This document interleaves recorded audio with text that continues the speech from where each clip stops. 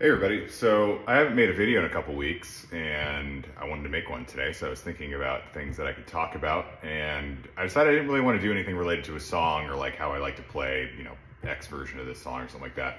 But I wanted to make another one talking about guitars. So I was with some friends last night and I was playing this uh, OMJM Martin and I thought I would make a video talking about it and giving my thoughts on it. Um, I made one with the Martin OM28JM, which is the limited edition version of this guitar, and talk about how that's my favorite guitar, yada, yada, yada. It's awesome. But that's not really accessible for, I think, the majority of people, strictly because there's really not many for sale. Um, and you can't just go to a Martin store and buy it. So I thought I would make a video on this guitar, which is the current production version of that, uh, that guitar. So this is the OMJM. This one is number 533. Um, I have another one that I think is number 214 or something like that. So both uh, are probably almost 20 years old at this point. I think they started making them in 2005. But this guitar overall is, is I feel like people are unfair and a little harsh on this guitar and they kind of classify it as like a, you know, collaboration sellout thing where they were going to slap uh, John Mayer's name, and I feel like they give the same criticism to the Clapton model too, and they make it sound like it's just like this cheaply made guitar that has a huge premium for the signature. And I think that there's some truth to that. I think that there's definitely a premium because it's a signature model, but I don't think by no means is it a you know cheap out version or where they use you know I don't think they're trying to, to, to kind of slip one by you with this guitar. It really is, it's a great guitar.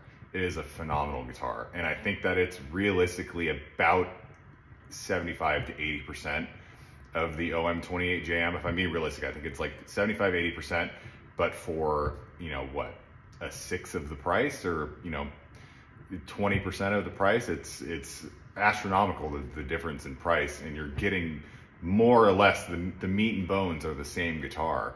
And I think the sound is also the same too. I think that's most people's criticism of it is not, it can't be the looks. It looks, I mean, if you hold them from 10 feet away, you're gonna think it's the same guitar.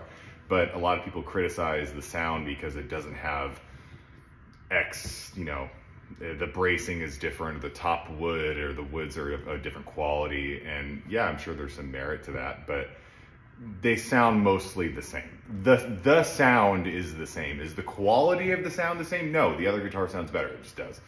Um, and I think that has a lot to do also with the age, but uh, the guitars have the same signature sound. They they pre they present the same way.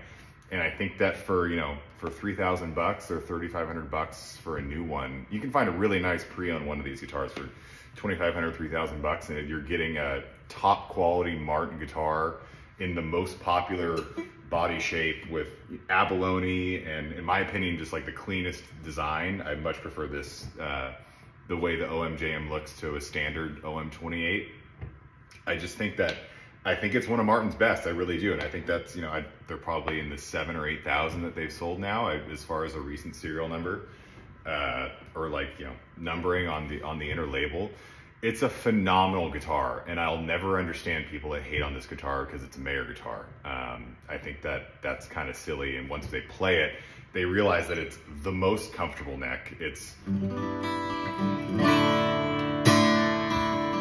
it's the most comfortable neck, and it's the most versatile guitar. And again, I'm not. I already made a video on the OM28JM, so I'm repeating a lot of things because there's again mostly the same guitar. But this OM style guitar is just out of the box. It's it's phenomenal. And if you, you know, you're either getting into guitar playing or you're looking to like upgrade, and let's say you you're a beginner and you bought like a couple hundred dollar guitar and you're like, okay, I want to like invest and I want to have something that I can have for a long time that'll motivate me to play maybe a little bit more and sounds better. I just can't think of a better guitar than this if you want something that's really versatile because it can it can take the finger picking, you know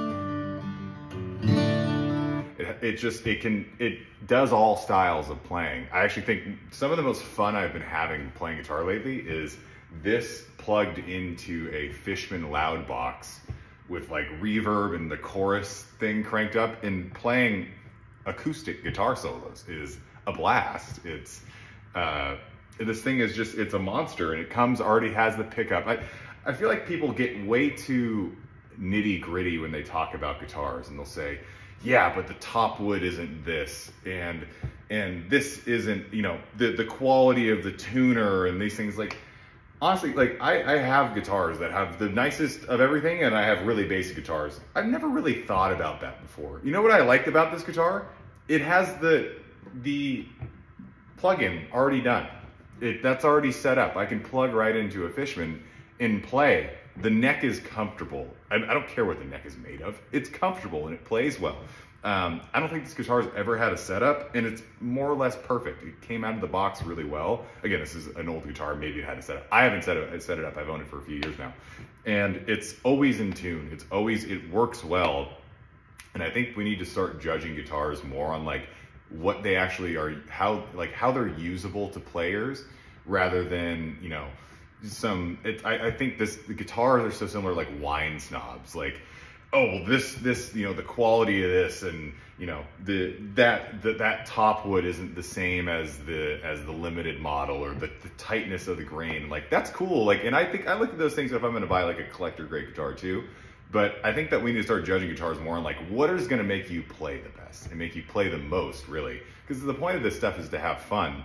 And i think that you know for someone to say oh the omjm doesn't have as good of woods as the om28 standard for the same price. It's like, okay, great. But like if someone's a John Mayer fan or they like, you know, that style of music and they and this is gonna motivate them to play, that's the most important thing. I don't care if this is made out of plywood. If it's motivates somebody to play and pick up the guitar and it costs ten thousand dollars and they can afford it, let them buy that one. Because the whole point is for them to pick up the guitar. And if it's interesting to, to you that you know, the look of it and how it feels and it, it, plays right and it feels good for you, then that's the most important thing. And that's why I love this guitar because it it has like an audience for it. And I think that's why signature guitars in general are cool. And that's why I don't I don't crap on collaborations with these things because if you can take someone that has a strong personal brand and is relevant in, in music today or relevant really this applies to anything, and then you can target their audience and motivate them to do something simply because their name's on it. Who cares if, if if getting them to do it is is the fun of it? And if you're a John Mayer fan and you buy this guitar, sure, could you get a Collings or uh, you know some niche guitar maker that would probably have a better value prop for you? Sure.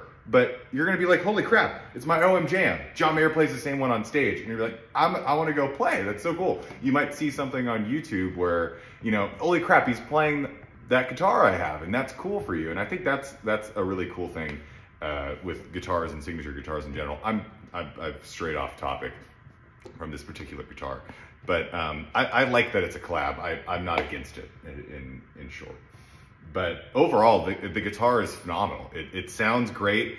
All of my friends that play it are like, wow, this sounds, and this is just a great sounding guitar and uh, and it's just it's really comfortable to play. I think the neck is really such a big deal on this thing, and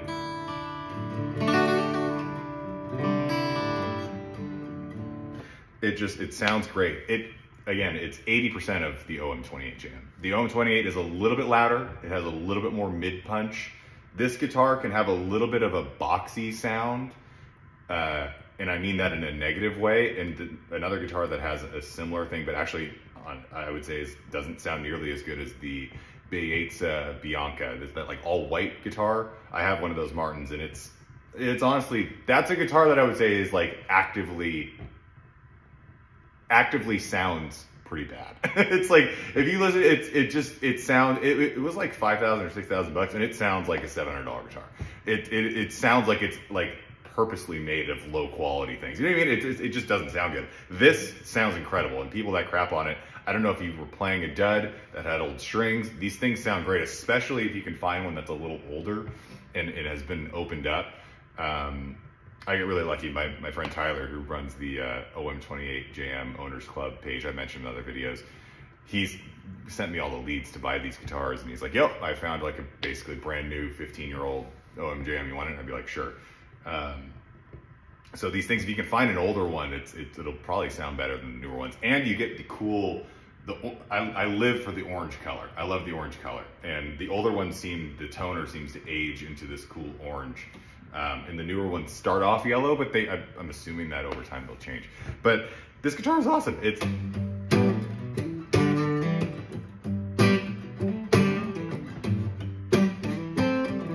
it's it's got all the it's got all the sound. Um, it's got all the sound. Sorry, I, have not played guitar at all today. That was pretty sloppy, but uh, it's it's there, and I think that I, I have no problem recommending this to people, even at the price point. It's a lot of money.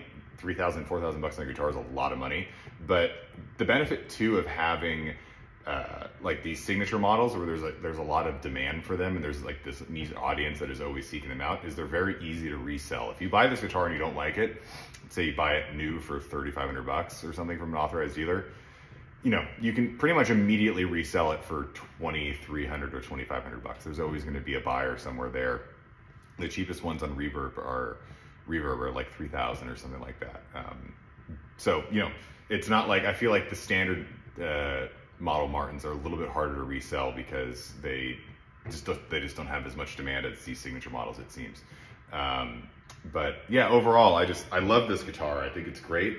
And I honestly, I, I play this a ton, even with the, uh, the 28 Jam. I, I usually will pick this one up because um, it's just, it just sounds awesome. They also oddly, they, I've always found OM jams to play, have better string string tension or something. They're they're a little bit more buttery to play than the OM28 Jam, and that's uh, across all of the different uh, examples that I've played.